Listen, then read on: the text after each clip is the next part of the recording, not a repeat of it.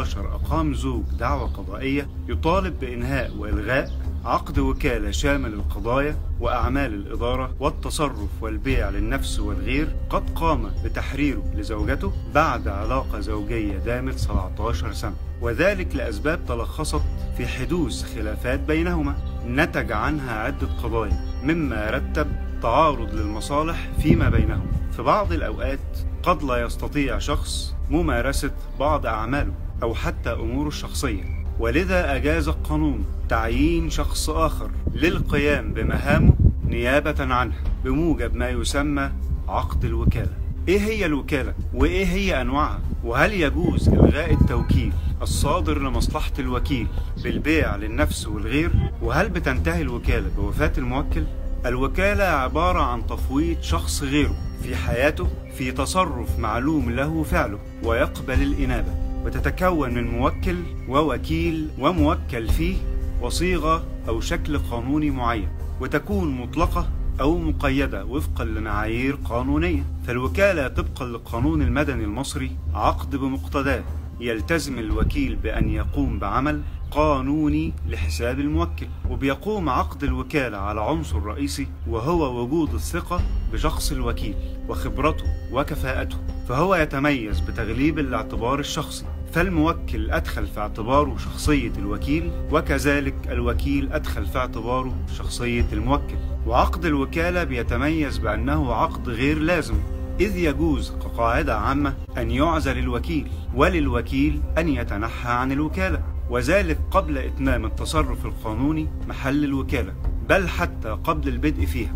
وبيتميز عقد الوكالة بأن محله الأصلي يكون دائما تصرفا قانونيا والوكيل لا يسأل إلا عن بذل العناية اللازمة في إنجاز العمل الموكل إليه. وبيتصرف الوكيل باسم الموكل ولحسابه وهو من عقود التراضي ويكون عقدا شكليا إذا كان التصرف القانوني محل الوكالة هو تصرف شكلي. والوكالة أنواع. الوكالة العامة وهي الوكالة الواردة في الألفاظ العامة والتي ليس فيها تحديد لنوع العمل القانوني.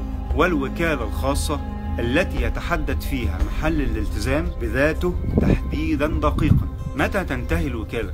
الأصل أن تنتهي الوكالة بإتمام العمل الموكل فيه أو بانتهاء الأجل المعين للوكالة. وبتنتهي أيضا بموت الموكل أو الوكيل وبالتالي لا ينصرف أثر الوكالة بعد وفاة الموكل أو الوكيل إلى ورثة أيا منهما. لكن هل من الممكن أن تكون الوكالة سارية ومستمرة رغم وفاة الموكل أو فقده للأهلية؟ إذا صدرت الوكالة خاصة والمخصصة لمصلحة الوكيل كأن ينص موضوعها على حق الوكيل في البيع للنفس أو الغير. والتوقيع على العقد النهائي وقبض الثمن. فطبقا للمادة 715 فقرة 2 من القانون المدني والمادة 69 مقرر من تعليمات الشهر العقاري لسنة 2001 لا يجوز إلغاء هذه الوكالة بالإرادة المنفردة بل يجب حضور الطرفين وكذلك لا تنتهي بموت إحداهما أو كلاهما وبيلتزم بها ورثتهم في حدود التركة. وأجمعت أحكام محكمة النقض على هذا المبدأ. بل ذهبت تعليمات الشهر العقاري إلى أبعد من ذلك بالمنشور الصادر رقم 15 سنة 2006 بأنه لا أثر لفقد الأهلية لدى الموكل عند مزاولة الوكيل التصرف إذا كانت الوكالة لصالحه أو لصالح غيره. ولكن ما هو الحال في حالة حدوث تعارض بين مصلحة الوكيل والموكل؟ في الوكالات المقرر فيها مصلحة لصالح الوكيل كالوكالة العامة التي تتيح للوكيل حق التصرف للبيع للنفس والغير. والأصل أنه لا يجوز إلغاء ذلك التوكيل ولكن محكمة استئناف القاهرة أصدرت حكما في الدعوة رقم 2946 لسنة 32 قضائيا بإلغاء التوكيل بالبيع للنفس والغير من الزوج لزوجته عقب انتهاء رابطة الزوجية. والمحكمة في حيثيات هذا الحكم قالت وإن كان نص الفقرة الثانية من المادة 715 من القانون المدني والتي جرى نصها على أنه إذا كانت الوكالة الصادرة لصالح الوكيل أو لصالح أجنبي لا يجوز للموكل أن ينهي الوكالة أو يقيدها دون رضاء من حدثت الوكالة لصالحه فإن التطبيق المطلق والمجرد للنص بعباراته الظاهرة قد يؤدي إلى تجسيد النص مما أوجب.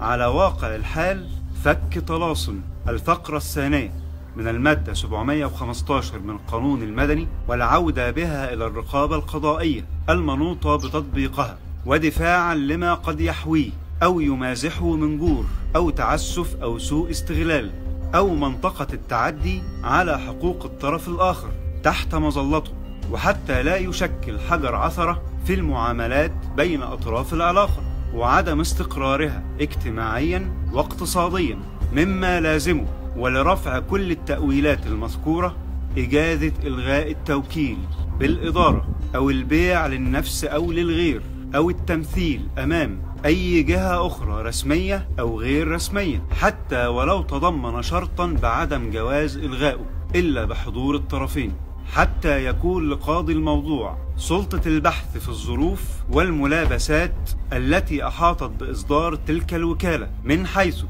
سعة إصدارها ونطاقها والظروف التي صدرت خلالها والدافع إلى ذلك ومدى ملائمتها بقاء أو إلغاء وفق واقع الحال وكل ذلك حسب ظروف وواقع كل دعوة على حدة. ولما كان الثابت من واقع الدعوة المستأنفة حدثت الخلافات بين الطرفين الزوج والزوجة وطرق الزوج أبواب القضاء حتى أصبحت العلاقة غير محاطة بالباعث المعنوي الذي من أجله صدرت الوكالة وأصبحت الوكيلة غير مؤهلة لدى الموكل في إدارة أمواله أو التصرف فيها سواء لنفسها أو للغير. واستندت المحكمة في إلغاء التوكيل على الفقرة الأولى من المادة 715 التي تعطي للموكل وفي أي وقت حق إنهاء ذلك التوكيل. ولو وجد اتفاق يخالف ذلك. اللي عاوز أقوله لك إيه؟ بتلعب الوكالة دورا هاما في كافة مناحي الحياة وهي ضرورية لسد فجوة أو فراغ قد يحدث لأي شخص في أي وقت. ولذا فإن القانون يمنحها القوة والقدسية القانونية حتى تتمكن من تأدية دورها المنشود. ولذا يجب على الجميع مراعاة هذه الوضعية الخاصة للوكالة وعدم العبث بها وعدم انتهاكها لأن مثل هذه التصرفات لا تجد قبولا بل تعد طائشة ومضرة لجميع الأفراد. ولنعمل جميعا على الابتعاد من المساس بالوكالة إلا عبر القانون وبالقانون فاختر الشخص المناسب للمكان المناسب.